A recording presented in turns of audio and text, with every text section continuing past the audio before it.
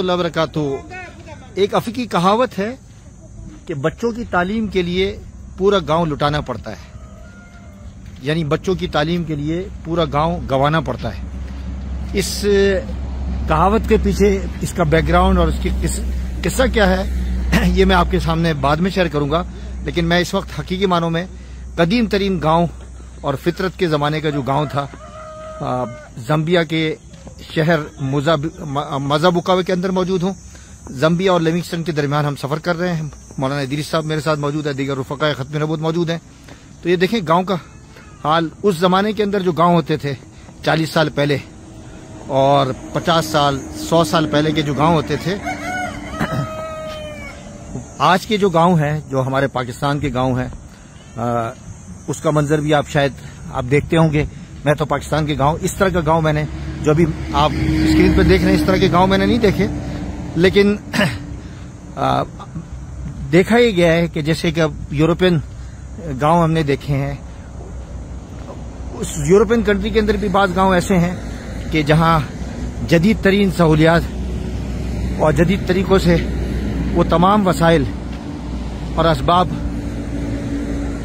बड़े आसानी के साथ दस्तियाब हो जाते हैं। अब ये गाँव देखें। आपको मैं यहाँ से शुरू करता हूँ। ये इनका बैतुल खला है। आप देख रहे हैं, ये बैतुल खला है। ये इनकी रिहाइश गाह है।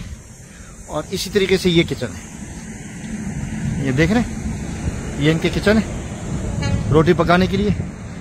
और ये दिखाने का मकसद ये है कि हमें अल्लाह अल्लाह ताला का शुक्र अदा करना चाहिए कि हमें अल्लाह तबारक वाली ने वो तमाम नेमतें और तमाम वसाइल दिए हैं कि जो एक इंसान को ज़रूरत होती है, उन तमाम ज़रूरियात को हासिल करने के बावजूद। हेलो।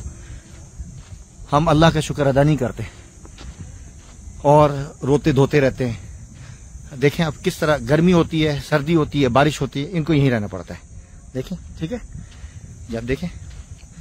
मैंने इस रास्ते के दरमियान में बहुत सारे ऐसे लोग देखे हैं कि जो अंडे बेच रहे हैं और कुछ लोग सुबह से प्याज बेच रहे हैं। कुछ लोग आ, फ्रूट बेच रहे हैं। और इक्का दुक्का लोग कभी कोई गाड़ी खड़ी हो जाती है लेकिन मेहनत कर रहे हैं। ये नहीं कि मेहनत नहीं कर रहे हैं और इस इंतज़ार में कि कोई खरीदेगा कि नहीं खरीदा।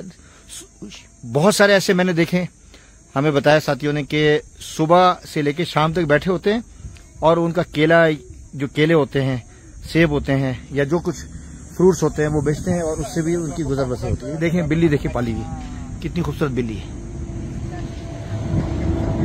थैंक्स थैंक्स ये देखें, ये टॉयलेट ये kitchen toilet this is toilet and this is one bath ओ अच्छा ये बात है।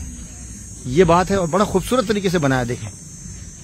और ये ये toilet this this is bath and this is toilet रह रहे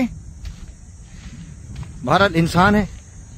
हमें इनके साथ हमदर्दी करनी चाहिए। बच्चे देखें, कोई भी सहूलत नहीं है। यानी आजकल के जो गाँव जो हमने देखे हैं, पाकिस्तान के भी, वो तमाम तर सहूलियात जदीद तरीके से वो पहुँच जाती है। और how you okay fine okay good boy good girl going school going school no going school you going school yes you have to go school okay देखें, कोई स्कूल नहीं है और मजबूर हैं। मजबूरी का नाम शुक्रिया। अब एक नज़र आ रहा है यहाँ घर बड़ा सा। और एक हैंडपंप लगा हुआ है। ये मुर्गियाँ पाली हुई उन्होंने अपनी गुजर बसर के लिए।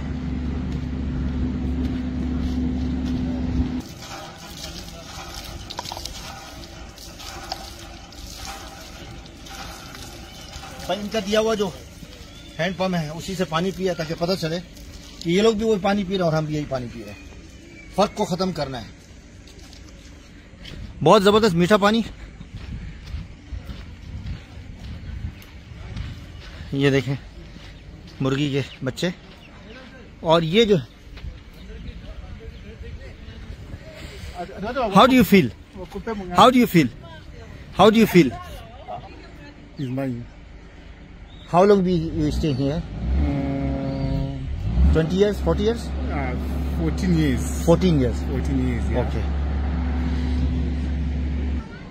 ये है जी अल्लाह ताला का हम शुक्र अदा करते हैं अब ये देखें भेड़ बकरियों को रखने के लिए इन्होंने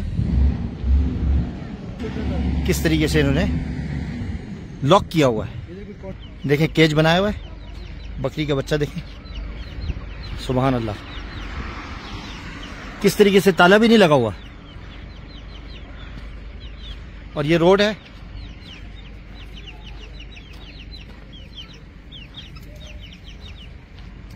और ये पूरा गाँव है। इसी तरह का छोटे छोटे घर हैं। How many families live how many families